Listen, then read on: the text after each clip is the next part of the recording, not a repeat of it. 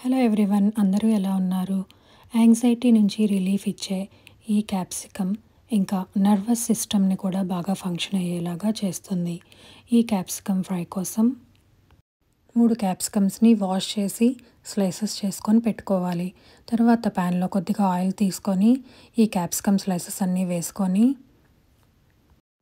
మూత పెట్టి పది నిమిషాలు ఫ్రై చేసుకోవాలి. ఇలా మూత పెట్టి చేసినప్పుడు క్యాప్సికమ్ ముక్కలు తొందరగా వేగుతాయి.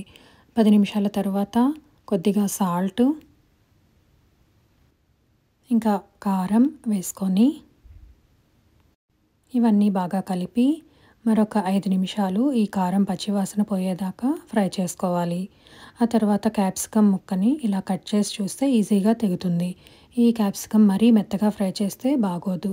ఈ ముక్కలన్నీ ఇలా వేగిన తర్వాత మనం ముందుగా మిక్సీకి పౌడర్ చేసుకొని పెట్టుకున్న పల్లీలు ఇంకా పుట్నాల పొడి వేసుకొని కలుపుకుంటే ఎంతో టేస్టీగా ఉండే క్యాప్సికమ్ ఫ్రై రెడీ అవుతుంది. దీనిని వేడి అన్నంతో సర్వ్ చేసుకుంటే చాలా టేస్టీగా ఉంటుంది. మరి ఈ రెసిపీ మీకు నచ్చినట్లయితే తప్పకుండా ట్రై చేసి ఎలా ఉందో కామెంట్ చేయండి. మన ఛానల్ని ఎవరైనా మొదటిసారిగా చూస్తుంటే సబ్స్క్రైబ్ చేసుకోండి.